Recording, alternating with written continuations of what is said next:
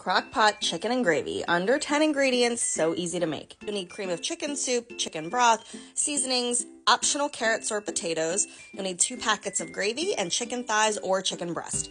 First, you're gonna wanna line or spray your crock pot, always and forever, and then pretty much just dump all of the ingredients right into your crock pot. I used six chicken thighs in my recipe this time, and that fed four of us, two adults, two kids. If you have more people to feed or more adults, you probably want to use more chicken thighs or use chicken breasts since there's more meat. You can use any gravy packet in this. I'm using turkey because that's what I had on hand. I also use brown gravy a lot, which is really good, or you can use chicken.